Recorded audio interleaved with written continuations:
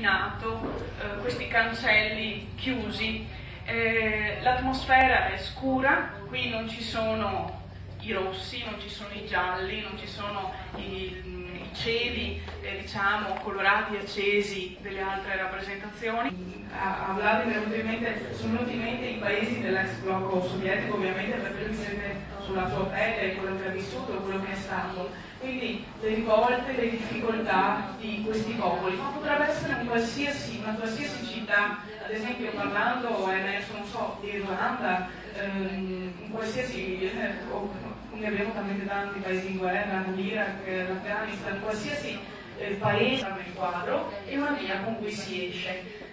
Anche ci sottolinea, sottolinea sempre che la via con cui si esce per lui è sempre una via positiva, quindi probabilmente anche qui c'è qualcosa di positivo e riusciremo a uscire, c'è una speranza nel futuro.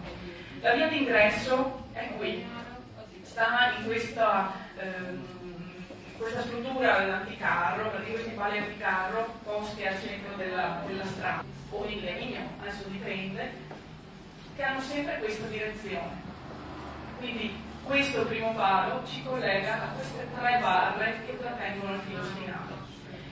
Secondo Vladimir poi queste tre barre che trattengono il filo spinato portano lo sguardo a scendere attraverso questo filo, che quasi è a pezzoloni eh, sopra la porta, verso questo cancello.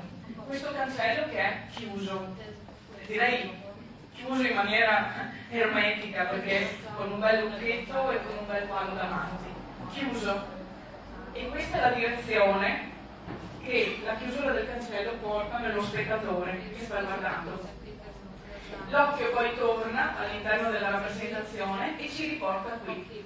Ci riporta qui in una strada che si porta verso un orizzonte polveroso dove c'è stata la rivolta, ma è un orizzonte illuminato un orizzonte che comunque dietro questa polvere, dietro questa polvere appunto del combattimento, ha comunque una luce. È una via d'uscita, è la possibilità di uscita che eh, lo spettatore, ma comunque eh, l'uomo che in qualche modo vede questo quadro, il popolo che in qualche modo si rappresenta in questo quadro, ha di uscita.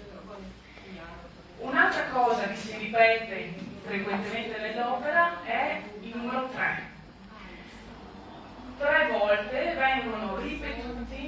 degli elementi che per l'autore sono importanti